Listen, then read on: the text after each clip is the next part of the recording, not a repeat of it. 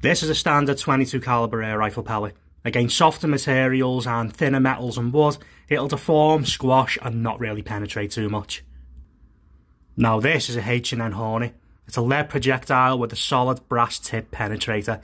This can punch through materials much more effectively and are commonly used for hunting animals that have got thicker hides such as rabbits. Let's see what it can do to a thin metal target.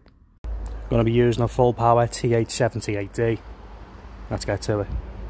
Standard pellets up first.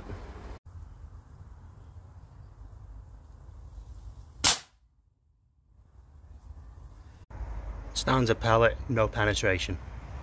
Now the H&N Hornet.